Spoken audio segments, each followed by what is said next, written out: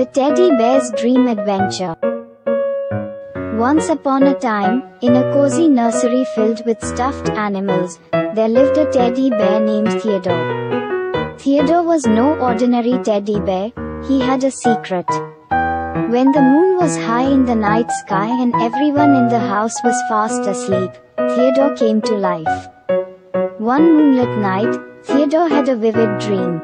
In his dream, he found himself in a lush, magical forest filled with talking animals and twinkling fireflies.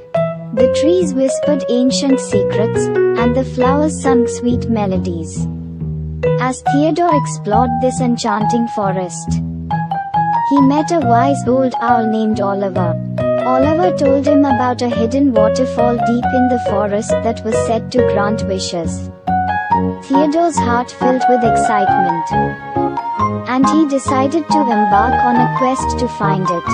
Accompanied by a friendly squirrel named Squeaky, Theodore journeyed through the forest, encountering challenges and making new friends along the way.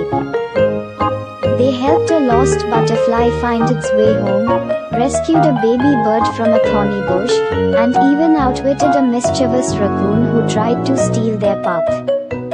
Finally, after a long and adventurous journey, they reached the hidden waterfall.